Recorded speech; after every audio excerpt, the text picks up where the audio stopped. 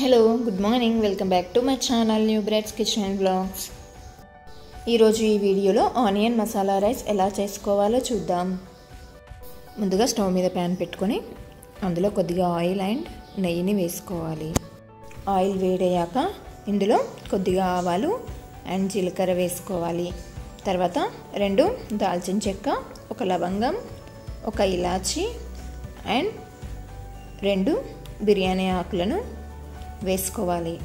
తర్వాత ఇందులో కొద్దిగా జీడిపప్పు అండ్ పల్లీలను వేసుకోవాలి. అండ్ కొద్దిగా శనగపప్పును వేసుకొని చక్కగా వేయించుకోవాలి. తర్వాత ఇందులో రెండు పచ్చిమిర్చి ముక్కల్ని వేసుకోవాలి. ఇక నేను వన్ కప్ రైస్కి ఒక పెద్ద సైజు ఉల్లిపాయ ముక్కల్ని చిన్నగా కట్ చేసుకున్నాను. ఇలా ఉల్లిపాయ ముక్కలు చక్కగా వేగాక ఇందులో కొద్దిగా వెల్లుల్లి పేస్ట్ కరివేపాకు అండ్ కొద్దిగా పసుపు వేసి చక్కగా కలుపుకోవాలి.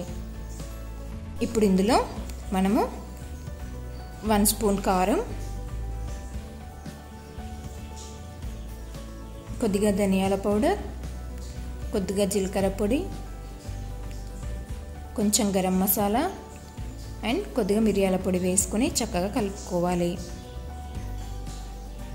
కొద్దిగా వాటర్ని స్ప్రింకిల్ చేస్తే ఈ మసాలా అనేది చక్కగా ఆనియన్స్కి పడుతుంది.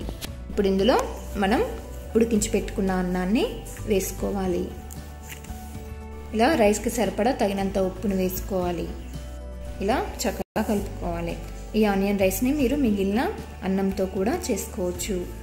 ఈ విధంగా కలుపుకొని లాస్ట్లో కొత్తిమీర వేసుకొని ఒక టూ మినిట్స్ పాటు లో ఫ్లేమ్లో పెట్టుకొని స్టవ్ ఆఫ్ చేయాలి. అంతే ఫ్రెండ్స్ ఎంతో టేస్టీగా ఉండే ఆనియన్ మసాలా రైస్ రెడీ. మీరు కూడా ఒకసారి ట్రై చేయండి.